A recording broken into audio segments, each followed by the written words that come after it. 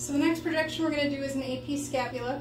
This image is also going to be done lengthwise like the lateral scapula was that's on the PA oblique scap Y and lateral scapula video if you haven't watched that yet. Those two are together, so that is where you will find your lateral scapula. It is titled as such. For the AP scapula, I actually bring my patient in and I have them face PA to start because what your central ray is directed to is the middle of the scapula and that can be hard to imagine, especially for students just learning. You don't really have your x-ray vision yet. It can be hard to imagine where that scapula is living in the body from the AP position. So I'm going to have my patient come in and face the board for me. And again, you're just feeling to make sure that you have some light field below the inferior border of the scapula and a little bit of light field above the top of the shoulder. Okay, so right now this is the inferior border. They're usually pretty symmetrical, but in the end I'm going to be doing the other side. I'm going to do the left, so I'm just going to shift to make sure. Never want to assume everybody's body habitus is completely equal because none of us are completely equal. All right, once I have this centered where the inferior border has a little bit of light field below and I have a little bit of light field above, I'm going to have her turn around to AP position.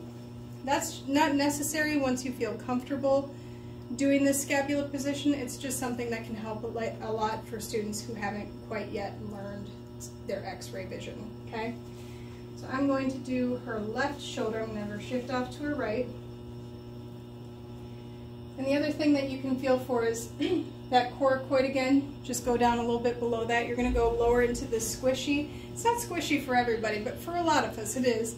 You can feel kind of the hard pectoral muscle, but there's a little squishy part off laterally on the patient. That's pretty much where your central ray needs to go, just inside or medially about an inch or so.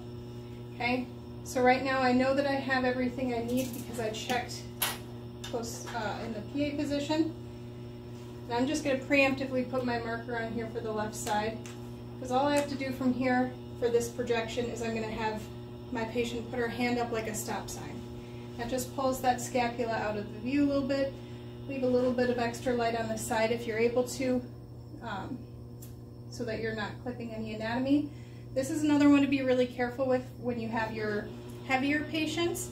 Make sure that you're centering to the center of, almost kind of the center of the clavicle where that would be, versus just the complete center of the patient or the lateral border of the patient. If they have a lot of extra tissue on the outside here, there's not um, any bones here, this is all soft tissue, so just make sure about mid-clavicle and down is where you're going to need to be. Okay? Again, lengthwise cassette, hand up in the stop sign position, center to the middle of the scapula.